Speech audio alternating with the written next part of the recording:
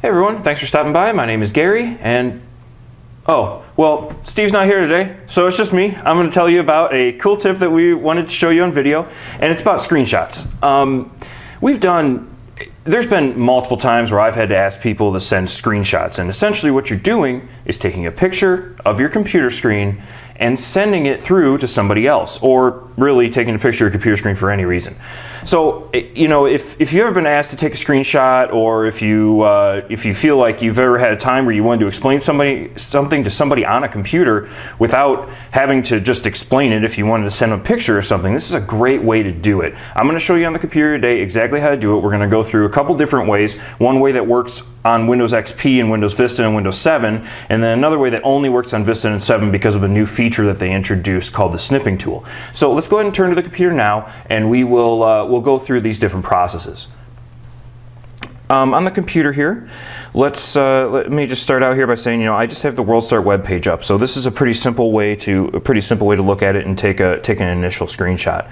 Um, what we're going to do is, uh, first of all, I'll show you the way that works on every operating system. Okay, um, I'm going to put a little picture of the keyboard down there first. You can see at the bottom of the screen there where the print screen key is. That is the key the main key that you need for all of this, the print screen button. So uh, to take a screenshot, we're going to go ahead and press the control key and print screen. Okay, it doesn't look like it does anything on the screen and that's just fine. Now what we're going to do is open up Paint. Everybody has Paint so it's easy to use and uh, I'm going to go ahead and hit Control V which is just paste with the way you would paste anything and you'll see what shows up here is a picture of my screen.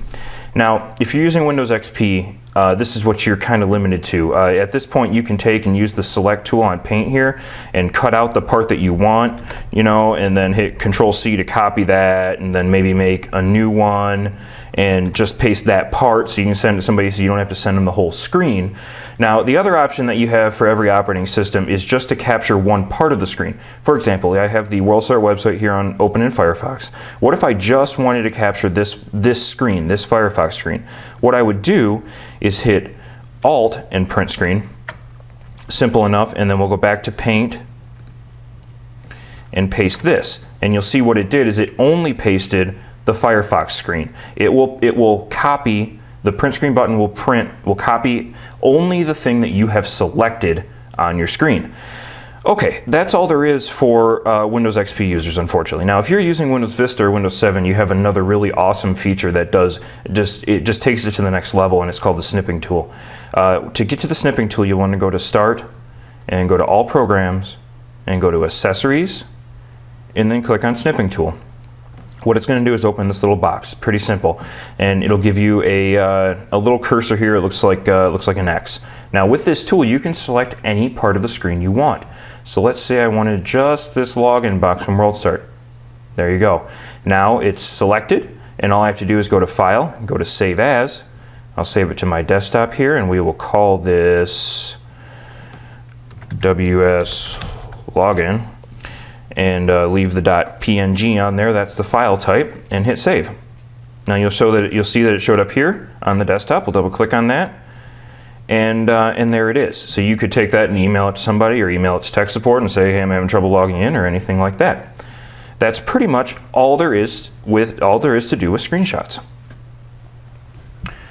Okay, so now that we've shown you how screenshots work, I think it, it becomes pretty simple on you know understanding it. Now, the, like I said, the key thing to do here, the key thing to keep in mind is the print screen button. That print screen button will take a screenshot. It's the only one that does it.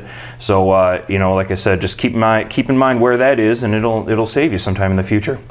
Uh, thanks for stopping by. I uh, just wanted to say thanks, and if you are watching this video on YouTube, stop by our website at worldstart.com. Uh, also, if you have a question for us, go ahead and stop by www.worldstart.com slash ask, and we'll be happy to answer it for you. Have a great day.